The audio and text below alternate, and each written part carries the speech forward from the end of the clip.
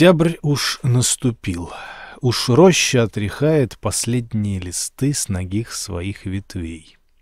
Дохнул осенний хлад, дорога промерзает. Журча еще бежит за мельницу ручей, но пруд уже застыл.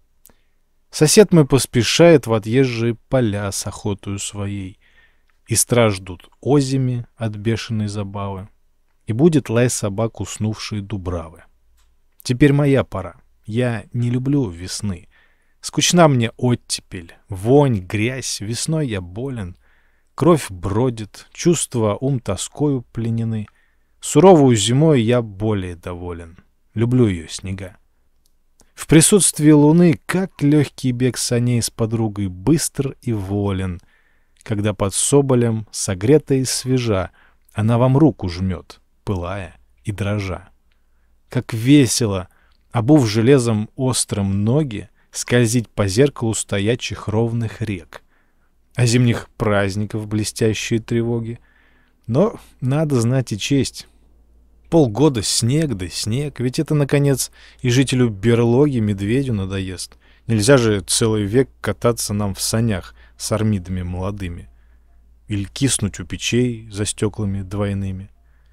Ох, лето красное, любил бы я тебя, когда б не зной, да пыль, да комары, да мухи. Ты все душевные способности губя нас мучишь, как поля мы страждем от засухи. Лишь как бы напоить да освежить себя, иной в нас мысли нет. И жаль зимы старухи. И, проводив ее блинами и вином, поминки ей творим мороженым и льдом. Дни поздней осени бронят обыкновенно.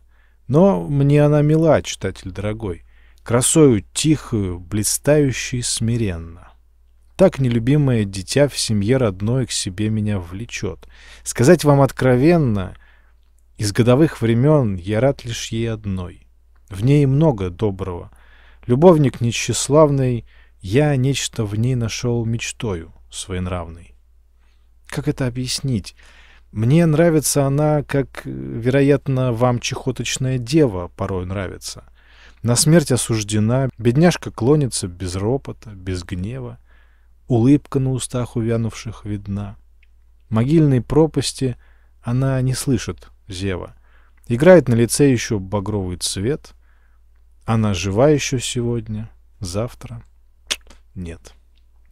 Унылая пора Очей очарование, приятно мне твоя прощальная краса. Люблю я пышное природы увядание. В багрец и в золото одетые леса, В их сенях ветра шум и свежее дыхание, И мглой волнистую покрыты небеса, И редкий солнце луч, и первые морозы, И отдаленные седой зимы угрозы. И с каждой осенью я расцветаю вновь. Здоровью моему полезен русский холод — к привычкам бытия вновь чувствую любовь, чередой слетает сон, чередой находит голод, легко и радостно играет в сердце кровь. Желания кипят, я снова счастлив, молод и снова жизни полн. Таков мой организм. Извольте мне простить ненужный прозаизм. Ведут ко мне коня, в раздолье открытом, махая гривую, он всадника несет, и звонко под его блистающим копытом звенит промерзлый дол и трескается лед. Но гаснет краткий день, и в камельке забытом огонь опять горит. То яркий свет льет, то тлеет медленно, а я пред ним читаю, или думы долгие в душе моей питаю. И забываю мир, и в сладкой тишине я сладко усыплен моим воображением и пробуждается поэзия во мне. Душа стесняется лирическим волнением, трепещет и звучит, и ищет, как во сне, и злится, наконец, свободным проявлением. И тут ко мне идет незримый рой гостей, знакомцы давние, плоды мечты моей.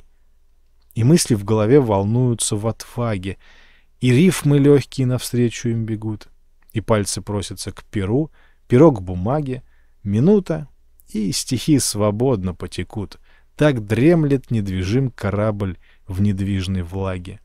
Но чу, матросы вдруг кидаются, ползут вверх-вниз, и паруса надулись ветра полны.